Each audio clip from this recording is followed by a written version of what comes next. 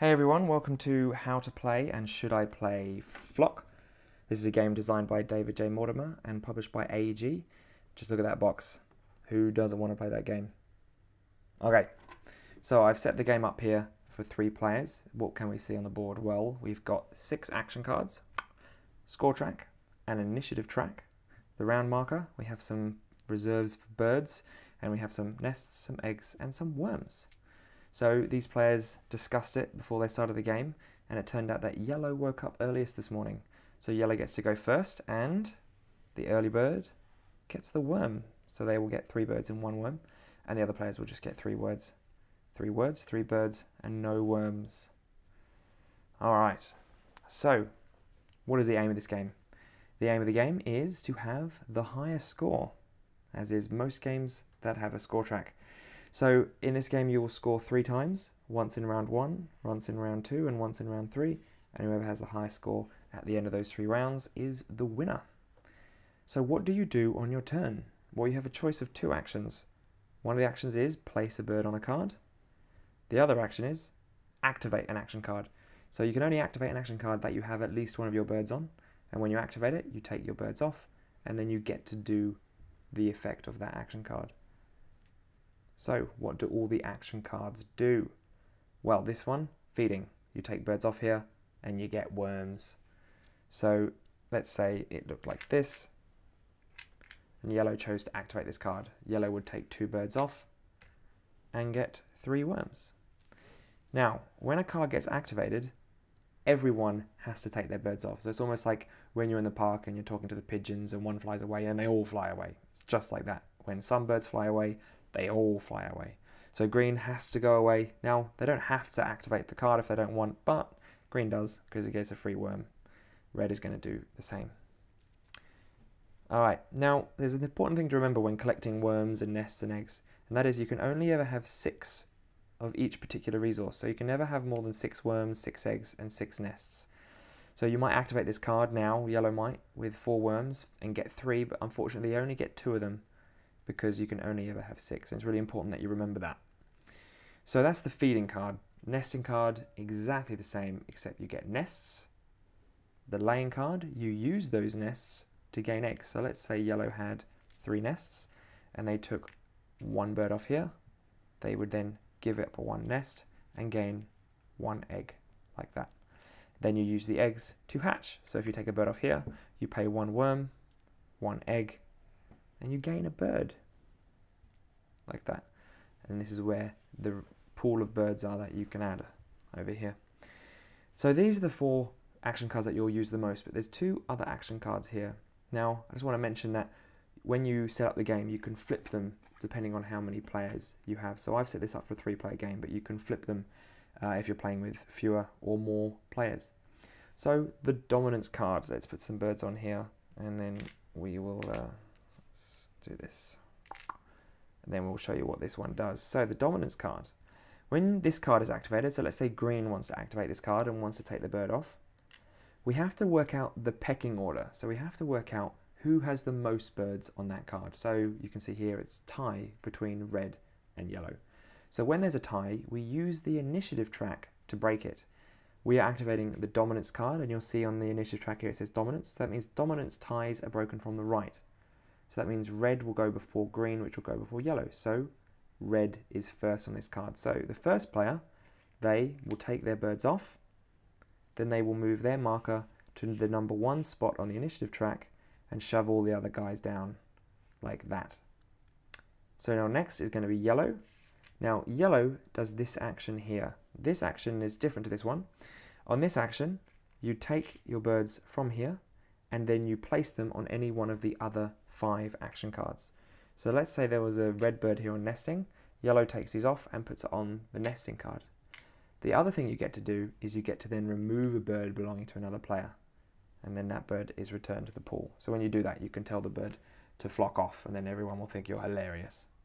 Okay, so then green would do the same, and they might go over to the feeding card. So that's the dominance card. This one here is the competition card, and this is used for scoring.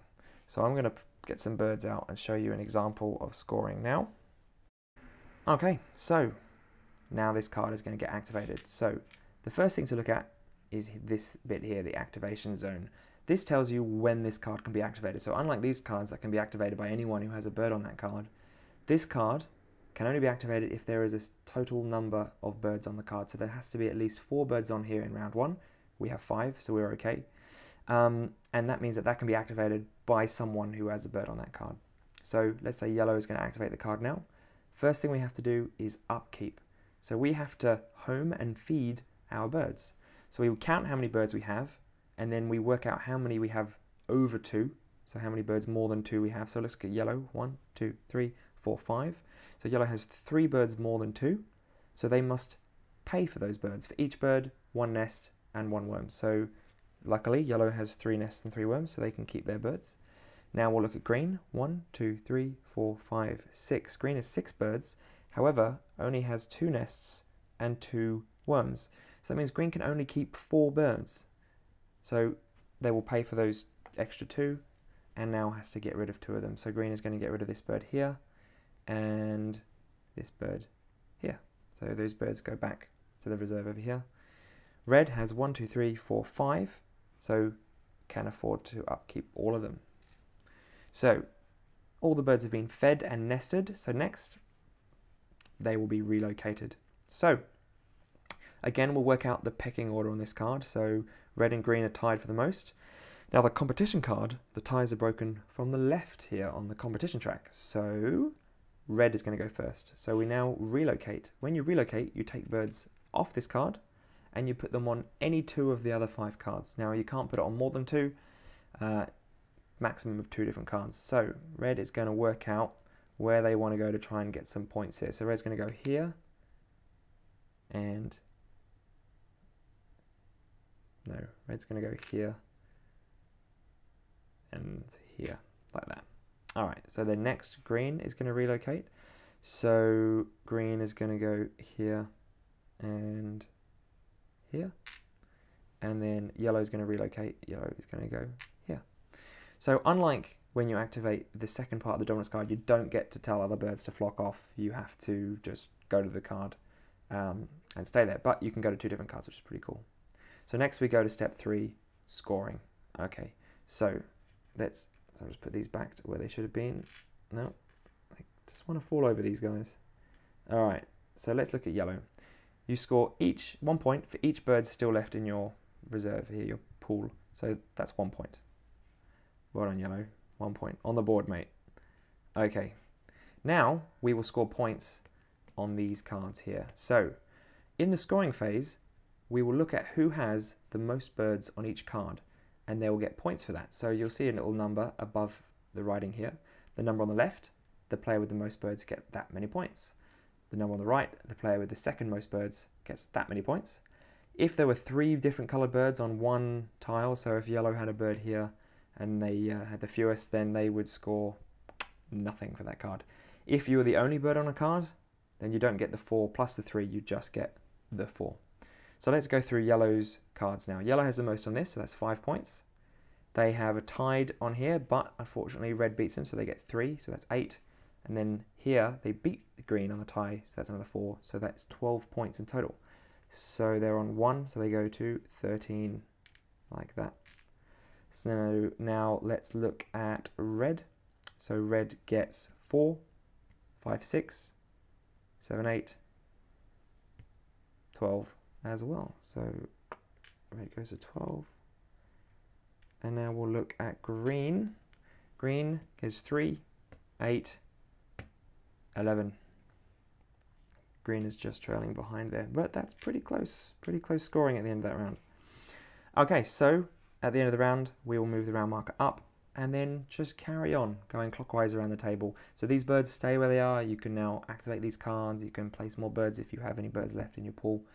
Carry on the game, and again, in the second round, there must be at least five birds to activate this card, and then you'll do the upkeep, the relocate, the scoring, and then at the end of the third round, whoever has the highest score is the winner. So that was briefly how to play Flock. Now, should you play Flock? Well, I really like this game. I think it uh, has a really kind of interesting strategic element. It's all about timing.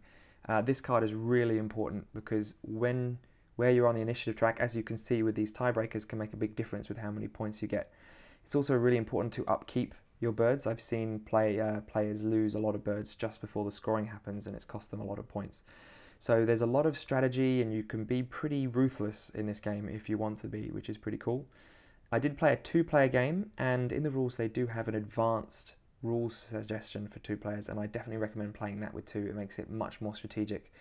Um, so if you're going to play, are going to play with two players, make sure you play with those bonus rules. Now there are a few little things that I find a little annoying with this game. The score system is one of them. Uh, like you'll see earlier on, I accidentally knocked these birds over, and that happens quite a lot when you're fiddling around here. It's quite a clever, small way of doing the score system, and it reminds me of a kind of compact game like, you know, Tiny Epic Galaxies or something, which is, uh, you know, they fit a lot of stuff into a small box. However, the flock box is quite big, as you can see here, and uh, there's a lot of wasted space. So this is what the inside of the box looks like. So you put the action cards here, and then there's one bag for all of the tokens. So it takes a little while to separate all the tokens at the start of the game. But I could just buy multiple bags. I just haven't done that yet. So um, there's a lot of empty space in that box. But the artwork's nice, and you get a big picture on the front, which is cool. Um, but to be honest, they're the only kind of negative sides I can think of this game. It's uh, really interesting and I, it took me a long time to kind of get my head around the different strategic elements but it's really in, once you get into it it's definitely worth the effort. So if you do see this game at a board game club or a board game cafe definitely give it a play see if it's the right game for you. So thanks for watching this how to play of flock. Uh, if you want to check out any more videos or reviews or podcasts please visit forchitsandgiggles.com and uh, i'll see you next week. Thanks very much